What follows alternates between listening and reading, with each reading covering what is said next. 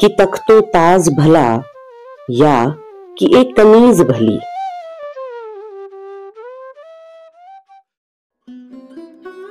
सभ्यता के इतिहास में प्रेम सर्वाधिक उर्वत प्रदेश रहा है। प्रेम हमारे वजूद की सर्वाधिक संभावनाशील संरचना भी है।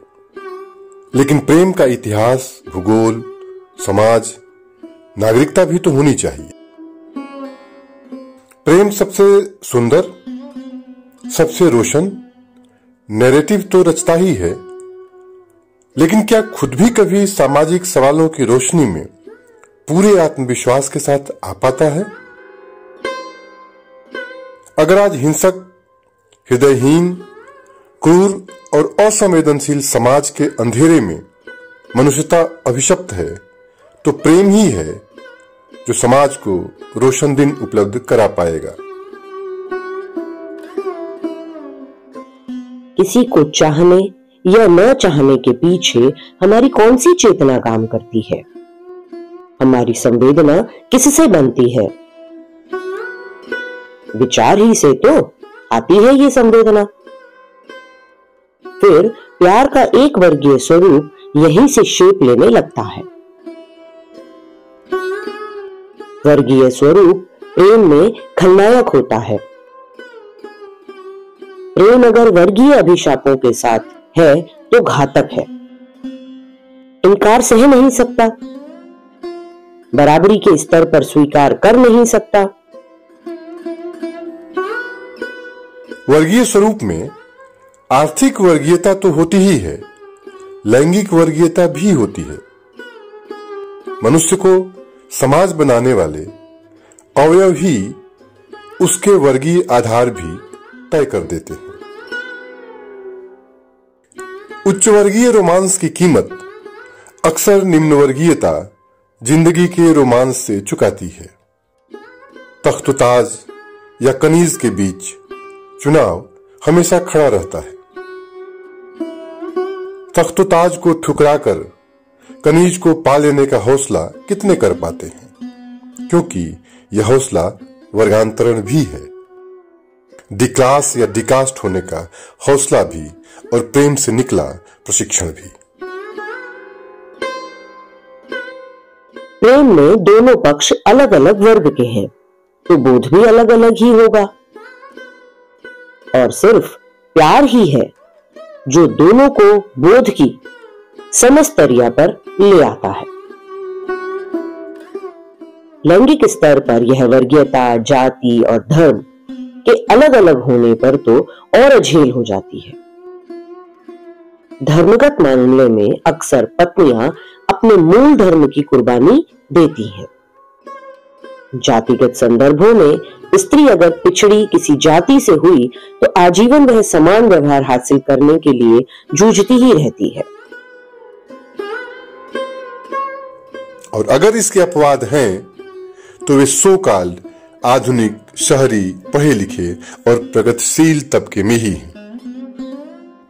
और प्रगतिशील वह है जो जितना असंतुष्ट है। यह भी, वह भी सब कुछ चाहिए। संतोष प्यार में भी, बाज़ार में भी एक पिछड़ा हुआ मूल्य है।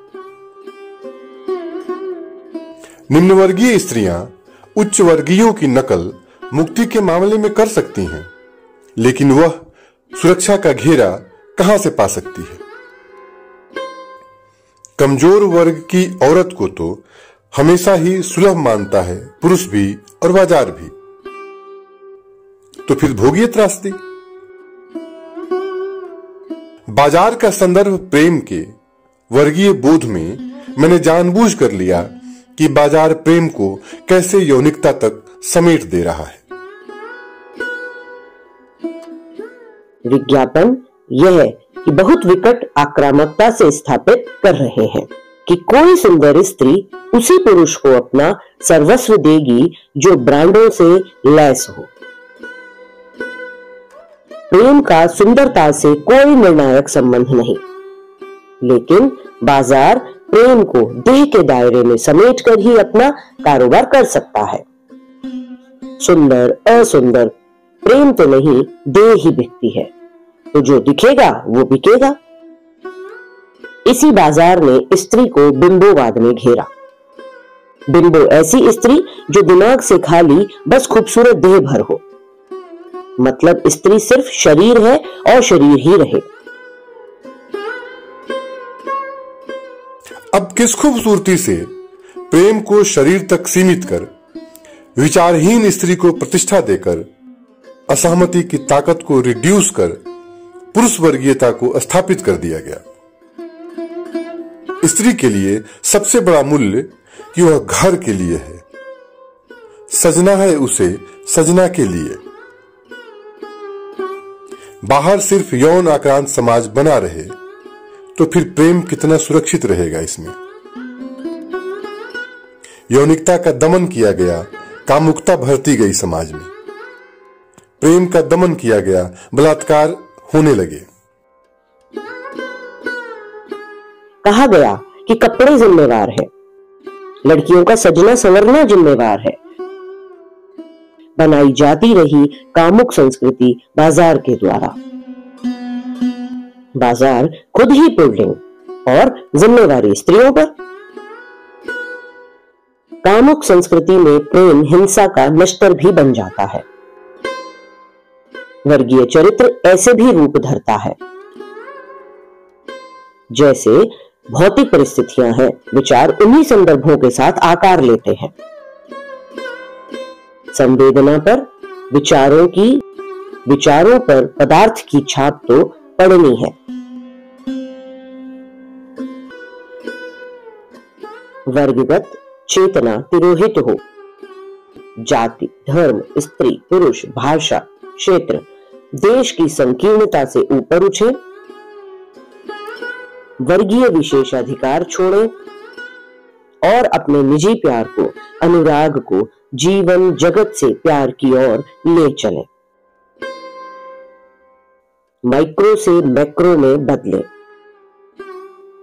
सिमटे तो दिल आशिक फैले तो जमाना है।